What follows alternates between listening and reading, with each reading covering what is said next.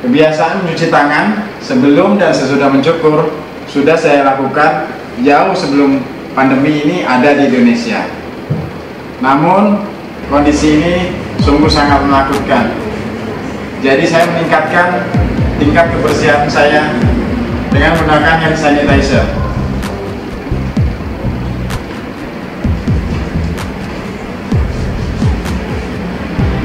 Lalu menggunakan masker untuk keamanan saya dan pelanggan saya. Buat kalian, terima kasih sudah menonton video ini dan jangan lupa like dan subscribe karena kalau nggak like dan subscribe juga nggak apa-apa sih. Thank you.